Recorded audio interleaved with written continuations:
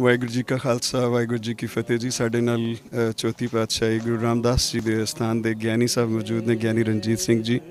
ਅਸੀਂ ਗੱਲਬਾਤ ਕਰਦੇ ਹਾਂ ਗੁਰਦੁਆਰਾ ਸ੍ਰੀ ਪਹਿਲੀ ਪਾਤਸ਼ਾਹੀ ਚੋਹਾ ਬਾਬਾ ਗੁਰੂ ਨਾਨਕ ਸਾਹਿਬ ਦੇ ਬਾਰੇ ਜੀ। ਗਿਆਨੀ ਜੀ ਜੀ ਆਇਆਂ ਨੂੰ ਔਰ ਧੰਨ ਭਾਗ ਅੱਜ ਦੇਖੋ ਤੁਸੀਂ ਕਿ ਗੁਰੂ ਘਰ ਜਿਹੜਾ ਮੁਕੰਮਲ ਰਿਸਟੋਰ ਹੋ ਗਿਆ ਔਰ ਆਪਣੀ ਅਸਲੀ ਦਿੱਖ ਦੇ ਵਿੱਚ ਆ ਗਿਆ। ਕੀ ਕਹਿਣਾ ਚਾਹੋਗੇ? ਵਾਹਿਗੁਰੂ ਜੀ ਕਾ ਖਾਲਸਾ, ਵਾਹਿਗੁਰੂ ਜੀ ਕੀ ਫਤਿਹ।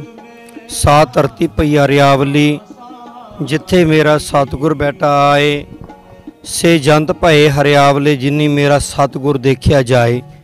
ਐਸੇ ਦੀਨ ਦਿਆਲ ਸਤਿਗੁਰੂ, ਪਹਿਲੇ ਪਾਤਸ਼ਾਹ ਸ੍ਰੀ ਗੁਰੂ ਨਾਨਕ ਸਾਹਿਬ ਜੀ ਦੇ ਚਰਨ ਚੋ ਪ੍ਰਾਪਤ ਸਥਾਨ ਗੁਰਦੁਆਰਾ ਚੋਆ ਸਾਹਿਬ ਜੀ, ਜਿੱਥੇ ਆਪਾਂ ਅੱਜ ਸਾਡੇ ਭਾਗ ਜਾਗ ਪਏ ਹਨ ਕਿ ਆਪਾਂ ਜਿੱਤੇ ਮ- ਨਕ ਹੋਣ ਵਾਸਤੇ ਇੱਥੇ ਆਏ ਹਾਂ। ਅਸੀਂ ਬਹੁਤ ਹੀ ਧੰਨਵਾਦੀ ਹਾਂ ਪਾਕਿਸਤਾਨ ਸਰਕਾਰਾਂ ਦੇ, ਜਿਨ੍ਹਾਂ ਨੇ ਬਹੁਤ ਵੱਡਾ ਉਪਰਾਲਾ ਕੀਤਾ।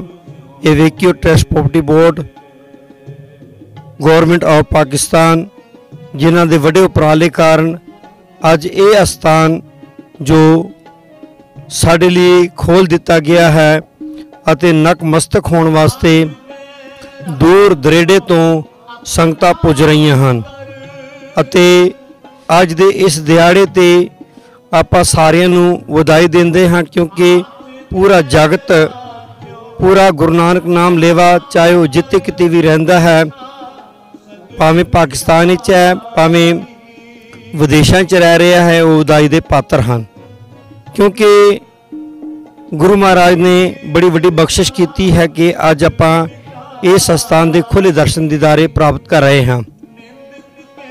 ਕਿਸੇ ਨੇ ਕਿਹਾ ਸੀ ਕਿ ਪਤਾ ਨਹੀਂ ਇਸ ਸਥਾਨ ਤੇ ਕਿਸੇ ਦਾ ਸਾਇਆ ਵੀ ਪਏਗਾ ਕਿ ਨਹੀਂ, ਪਰ ਜਿੱਤੇ ਗੁਰਮੁਖ ਜਨ ਹੋਣ, ਜਿੱਤੇ ਗੁਰੂਆਂ ਦੀਆਂ ਰੂਹਾਂ ਮੌਜੂਦ ਹੋਣ, ਤਾਂ ਉਤੇ ਆਪਣੇ ਪਿਆਰਿਆਂ ਨੂੰ ਭੇਜ ਦਿੰਦੇ ਹਨ। ਅਤੇ ਇਹੋ ਹੀ ਹੋਇਆ ਕਿ ਅੱਜ ਸਾਨੂੰ ਇਹ ਅਸਥਾਨ ਦੇ ਖੁੱਲੇ ਦਰਸ਼ਨ ਦਿਦਾਰੇ ਪ੍ਰਾਪਤ ਹੋ ਰਹੇ ਹਨ ਕਿਸੇ ਨੇਕ ਰੂਹਾਂ ਦੀ ਬਦੌਲਤ। ਸੋ ਆਪਾਂ ਧੰਨਵਾਦੀਆਂ ਇੱਕ ਵਾਰੀ ਫਿਰ ਪਾਕਿਸਤਾਨ ਗਵਰਨਮੈਂਟ ਦੇ evacuee trust property board government of Pakistan Pakistan Sikh Gurdwara Prabandh committee ਦੇ, ਜਿਨ੍ਹਾਂ ਨੇ ਬਹੁਤ ਵੱਡਾ ਉਪਰਾਲਾ ਕੀਤਾ, ਜਿਨ੍ਹਾਂ ਦੀ ਬਦੌਲਤ ਆਪਾਂ ਅੱਜ ਇਸ ਪਾਵਨ ਸਥਾਨ ਤੇ ਖੁੱਲੇ ਦਰਸ਼ਨ ਦੀਦਾਰੇ ਕਰਕੇ ਨਕਮਸਤਕ ਹੋ ਰਹੇ ਹਾਂ। ਇੱਕ ਵਾਰੀ ਅੰਤ ਵਿੱਚ ਮੈਂ ਫਿਰ ਇੱਕ ਵਾਰੀ ਵਧਾਈ ਦਿੰਦਾ ਹਾਂ। ਸਮੂਹ ਜਗਤ ਨੂੰ ਲੱਖਾਂ ਤੇ ਕਰੋੜਾਂ ਵਾਰ ਵਧਾਈ ਵਧਾਈ ਵਧਾਈ ਪ੍ਰਵਾਨ ਹੋਈ ਜੀ। ਵਾਹਿਗੁਰੂ ਜੀ ਕਾ ਖਾਲਸਾ, ਵਾਹਿਗੁਰੂ ਜੀ ਕੀ ਫਤਿਹ।